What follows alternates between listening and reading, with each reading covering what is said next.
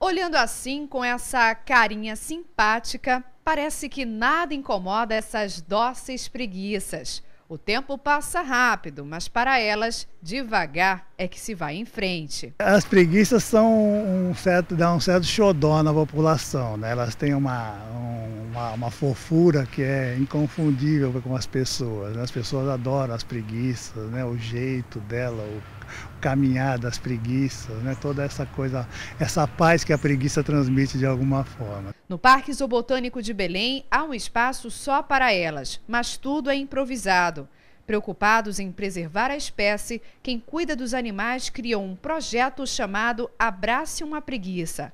A ideia é arrecadar dinheiro para ajudar na construção de um local novo e adequado para os bichos. Hoje, na forma como está esse recinto, você vê que é difícil até localizar os animais aí dentro. Com o novo recinto, vocês vão ter a oportunidade até de ver os, os veterinários, os biólogos tratando dos animais, cuidando deles, porque o recinto também prevê um berçário que é para cuidar das preguiças bebês também. Eles precisam de fonte de aquecimento também, de um espaço limpo e adequado, longe de qualquer tipo de contaminação, né? Todo o material utilizado com o animal tem que ser bem higienizado, como se fosse um bebê. Todos os cuidados que a gente tem com o bebê tem que ter com eles claro, vão crescendo, vão adquirindo resistência, os cuidados já não precisam ser tão grandes, mas uma alimentação adequada, um espaço adequado é o mais importante para que eles desenvolvam um comportamento natural da espécie. Né? Cerca de 30 preguiças vivem aqui pelo parque. A maioria delas foi resgatada de maus tratos. Essa aqui, por exemplo, chegou ainda filhote com um corte na boca, mas já está sob os cuidados da equipe do museu há mais de três anos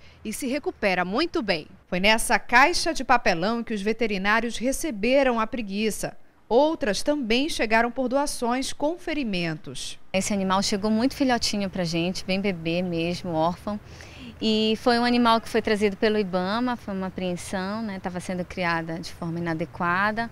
E a gente cuidou desse, desse bichinho desde pequeno, né? Então, inevitavelmente, ele acaba sofrendo um certo grau de humanização. Mas agora, já na fase adulta, ele já está aqui no recinto, então a gente já mantém um afastamento até para que esse animal não crie uma dependência muito grande em relação a gente. Olha, aqui nessa sala, também no Museu Zoobotânico do Emílio Guild, as preguiças recebem cuidados. Aqui a Juliana, a veterinária, está fazendo um pequeno curativo no Gideão. Esse é o nome que ela me disse que recebeu, né? Esse bicho preguiça. O que, que você está fazendo? Esse animal chegou também vítima de maus tratos? Não, esse animal ele chegou, ele estava sendo criado por uma família. Desde pequenininho eles mostraram as fotos. Quando ele cresceu, eles acharam melhor trazer aqui para que ele pudesse conviver com outras preguiças, que eles não estavam mais dando conta. E aí ele desenvolveu essas lesões que pode ser até por baixa de imunidade, se sentiu sozinho, sentindo falta da família. E aí esse curativo é, é uma misturinha com antifúngico para tratar para ele. Como é daqui para frente? O que, é que vocês pretendem fazer? Ele volta para quarentena ou vocês já pretendem tentar soltar ele por aqui pelo museu?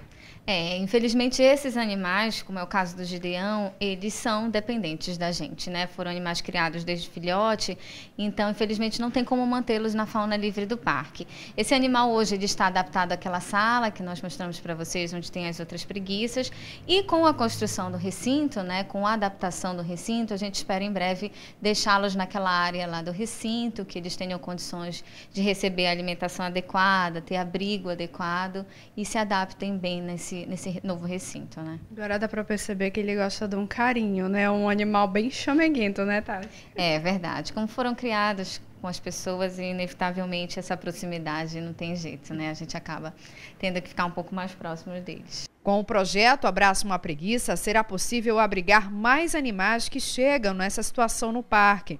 Qualquer pessoa pode doar. É um financiamento coletivo e ainda tem recompensas para o doador. É uma plataforma é, na internet, é um, é um site, ela está na plataforma da Kikante. Você pode doar desde 10 reais até quantidades ilimitadas, né? Que você tenha disponibilidade financeira para isso.